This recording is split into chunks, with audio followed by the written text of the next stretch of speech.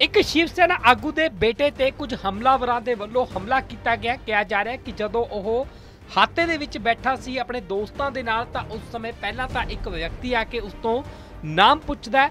ਨਾਮ ਪੁੱਛਣ ਤੋਂ ਬਾਅਦ ਹੀ ਕਿਹਾ ਜਾ ਰਿਹਾ ਕਿ ਕੁਝ ਮਿੰਟਾਂ ਬਾਅਦ ਕੁਝ ਹਮਲਾਵਰ ਆਉਂਦੇ ਨੇ ਤੇ ਉਸ ਦੇ ਉੱਤੇ ਹਮਲਾ ਕਰ ਦਿੱਤਾ ਜਾਂਦਾ ਹੈ। ਹਾਲਾਂਕਿ ਜਿਸ ਦੇ ਕਾਰਨ ਉਸ ਦੇ ਗੰਭੀਰ ਸੱਟਾਂ ਲੱਗੀਆਂ ਨੇ।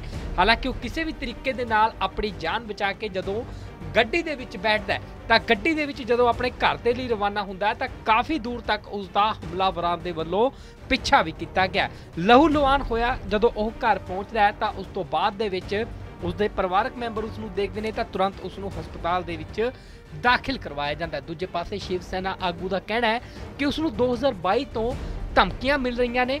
ਹਾਲਾਂਕਿ ਪਹਿਲਾਂ ਉਸ ਤੋਂ ਨਾਮ ਪੁੱਛਿਆ ਗਿਆ ਉਸ ਦੇ ਬੇਟੇ ਦਾ ਤੇ ਉਸ ਤੋਂ ਬਾਅਦ ਦੇ ਵਿੱਚ ਉਸ ਤੇ ਹਮਲਾ ਕੀਤਾ ਗਿਆ। ਤਾਂ ਮਾਮਲਾ ਜਲੰਧਰ ਤੋਂ ਸਾਹਮਣੇ ਆਇਆ ਜਿੱਥੇ ਕਿ ਕੁਝ ਹਮਲਾਵਰਾਂ ਦੇ ਵੱਲੋਂ ਇੱਕ ਸ਼ਿਵ ਸੈਨਾ ਆਗੂ ਦੇ ਬੇਟੇ ਤੇ ਹਮਲਾ ਕੀਤਾ ਗਿਆ, ਜਿਸ ਦੇ ਕਾਰਨ ਉਹ ਗੰਭੀਰ ਰੂਪ ਨਾਲ ਜ਼ਖਮੀ ਹੋਇਆ ਮੇਰਾ ਬੇਟਾ ਮਨੀ ਕੁਮਾਰ ਅੱਜ ਸੰਡੇ ਛੁੱਟੀ ਸੀ ਕਰਕੇ ਆਪਣੇ ਯਾਰਾਂ ਦੋਸਤਾਂ ਨਾਲ ਜਲੰਧਰ ਆਪਣੇ ਦਫ਼ਤਰ ਆਇਆ ਹੋਇਆ ਸੀ। ਸਾਡਾ ਜਲੰਧਰ ਬੱਸ ਸਟੈਂਡ ਦੇ 2 ਨੰਬਰ ਗੇਟ ਦੇ ਸਾਹਮਣੇ ਆਫਿਸ ਆ ਤੇ ਉੱਥੇ ਆਇਆ ਹੋਇਆ ਸੀ ਤੇ ਉਹ ਆਪਣੇ ਦੋਸਤਾਂ ਨਾਲ ਕਿਤੇ ਉਹ ਇੰਡੋ ਕੈਨੇਡੀਅਨ ਨੇੜੇ ਆਇਆ ਸੀ ਤੇ ਉੱਥੇ ਉਹਦੇ ਉੱਪਰ ਕੁਝ ਲੋਕਾਂ ਨੇ ਆ ਕੇ ਜੋ ਉਹਨੇ ਮੇਰੇ ਬੇਟੇ ਨੇ ਘਰ ਆ ਕੇ ਮੇਰੇ ਘਰ ਜਦੋਂ ਸਾਡੇ ਅਸੀਂ ਘਰ ਹੀ ਬੈਠੇ ਸੀ ਤੇ ਘਰੋਂ ਖੂਨੋ ਖੂਨੀ ਆਇਆ ਤੇ ਉਹਨੇ ਆ ਕੇ ਦੱਸਿਆ ਕਿ ਮੇਰੇ ਤੇ ਹਮਲਾ ਹੋ ਗਿਆ।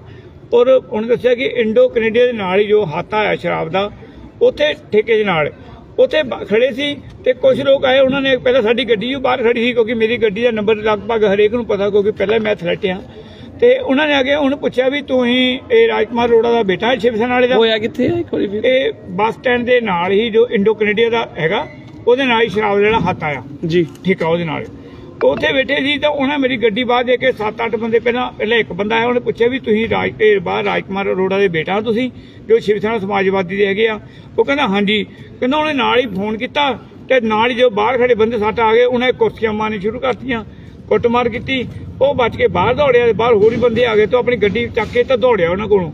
ਤੇ ਉਹਨਾਂ ਬੰਦਿਆਂ ਨੇ ਉਹਦਾ ਪਿੱਛਾ ਕੀਤਾ ਤੇ ਬਾਅਦ ਚੋਂ ਪਿੰਡ ਜਾ ਕੇ ਘਰ ਜਾ ਕੇ ਫਟਾਫਟ ਹੁਣ ਰਾਸਤੇ ਬਲੇਨੇ ਤੱਕ ਜਾਂ ਕਿਤੇ ਤੱਕ ਪਿੱਛੇ ਉਹਦੇ ਆਏ ਆ, ਉਹ ਅੰਦਰ ਵੜ ਗਿਆ। ਉਹ ਖੁੰਨੇ ਖੁੰਨੇ ਹੋਇਆ ਸੀ। ਫਿਰ ਅਸੀਂ ਚਲੋ ਬਾਹਰ ਆਏ ਤਾਂ ਬੰਦਾ ਕੋਈ ਪਿੱਛੇ ਨਹੀਂ ਆਇਆ। ਫਿਰ ਅਸੀਂ ਪਿੰਡੋਂ ਪਹਿਲਾਂ ਉਹਦੇ ਮਾਰਾ ਪੱਟੀ ਕਰਾਈ ਥੋੜੀ ਤੇ ਹੁਣ ਅਸੀਂ ਹੁਣ ਸਿਵਲ ਹਸਪਤਾਲ ਲੈ ਕੇ ਆਏ ਆ ਅਸੀਂ ਇਹਦੇ ਸਬੰਧ ਵਿੱਚ ਫਿਰ ਮੈਂ ਉਸੇ ਵੇਲੇ ਆਪਣੇ ਸਾਡੀ ਜੋ ਪੰਜਾਬ ਚੇਅਰਮੈਨ ਨਿੰਦਰ ਥਾਪਰ ਜੀ ਆ ਮੈਂ ਇਹਨਾਂ ਨੂੰ ਸੰਪਰਕ ਕੀਤਾ ਇਹਨਾਂ ਨੂੰ ਦੱਸਿਆ।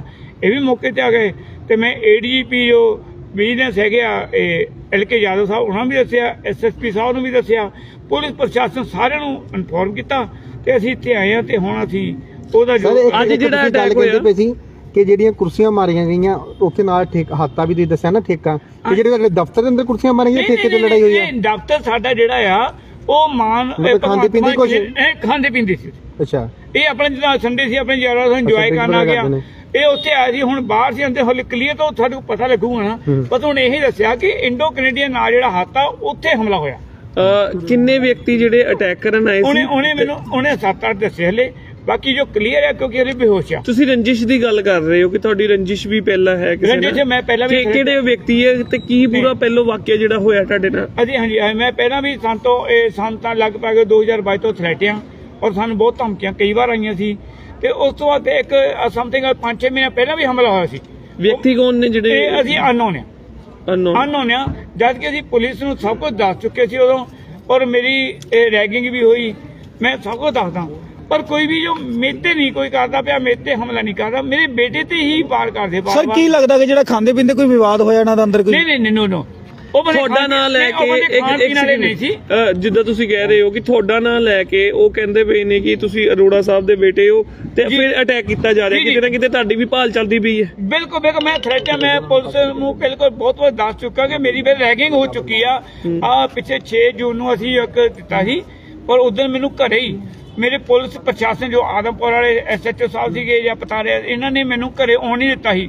ਪਰ ਉਸ ਦਿਨ ਵੀ ਮੇਰੀ ਰੈਗਿੰਗ ਹੋਈ ਉਹ ਜੋ ਰੈਗਿੰਗ ਮੈਂ ਉਦੋਂ ਦਾ ਔਰ ਸ਼ਾਇਦ ਤੁਹਾਡੀ ਮੈਂ ਨੌਲੇਜ ਲਿਆਉਣਾ ਚਾਹੁੰਦਾ ਕਿ ਅੱਜ ਤੋਂ ਸਮਥਿੰਗ ਸਾਲ ਪਹਿਲਾਂ ਇੱਕ ਅਖਬਾਰ ਜੋ ਨਵੋਦਿਆ ਟਾਈਮਜ਼ ਆ ਦਿੱਲੀ ਦੀ ਉਹਦੇ ਵਿੱਚ ਲੱਗੀ ਹੋਈ ਸੀ ਖਬਰ ਕਿ ਜਲੰਧਰ ਬੱਸ ਸਟੈਂਡ ਦੇ ਨੇੜੇ ਇੱਕ ਸ਼ਿਵ ਸੈਨਾ ਦੀ ਰੈਗਿੰਗ ਕੀਤੀ ਸੀ ਬੰਦੇ ਫੜੇ ਗਏ ਸੀ ਕੋਈ। ਰੈਕੀ ਕੀਤੀ ਗਈ ਹਾਂ ਰੈਗਿੰਗ ਕੀਤੀ ਗਈ ਔਰ ਮੇਰਾ ਸ਼ਿਵ ਸੈਨਾ ਦੇ ਔਰ ਸ਼ਿਵ ਸੈਨਾ ਉੱਥੇ ਮੈਂ ਵੀ ਦਫ਼ਤਰ ਚ ਹੋਰ ਵੀ ਦੋ ਚਾਰ ਹੋਣਗੇ ਹੋਣਗੇ।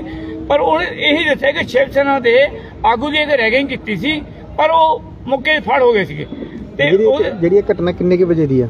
ਜਿਹੜੀ ਅੱਜ। ਇਹ ਸਮਥਿੰਗ ਤਿੰਨ ਚਾਰ ਘੰਟੇ ਪਹਿਲਾਂ ਦਾ। ਕਿ ਹੁਣ ਮੰਨਿਆ ਜਾਵੇ ਤੁਸੀਂ ਸ਼ਿਵ ਸੈਨਾ ਚੋਂ ਤਾਂ ਹਮਲਾ ਕੀਤਾ ਗਿਆ? ਬਿਲਕੁਲ ਬਿਲਕੁਲ ਸਰ। ਵਿਅਕਤੀ ਕਿੰਨੇ ਜਣੇ ਸੀ? ਇਹ ਜਾਣੀ ਕਿ ਮੇਰੇ ਬੇਟੇ ਦੇ ਜੋ ਬੇਹੋਸ਼ ਹੋਣ ਤੋਂ ਪਹਿਲਾਂ ਦੱਸਿਆ ਉਹਨੇ 7-8 ਪਹਿਲਾਂ ਦੱਸਿਆ ਫਿਰ ਬਾਅਦ 'ਚ ਕਹਿੰਦਾ ਬਾਅਦ ਪਹਿਰਾਵਾ ਕੀ ਸੀ ਉਹਨਾਂ ਦਾ? ਹਾਂਜੀ ਉਹ ਤੇ ਦੋ ਤਿੰਨ ਸਰਦਾਰ ਸੀਗੇ। ਪਰ ਬਾਕੀ ਸਾਰੇ ਮੁੰਡੇ ਸੀ। ਕੋਈ ਸੀਸੀਟੀਵੀ ਫੁਟੇਜ ਉਹ ਉਹ ਤਾਂ ਹੁਣ ਉਹ ਤੋਂ ਜੇ- ਪਤਾ ਜਿਹੜੇ ਲੱਗੂ। ਜਿਹੜੇ ਤੁਹਾਡੇ ਬੇਟੇ ਨਾਲ ਮੁੰਡੇ ਹੋਰ ਵੀ ਸੀ?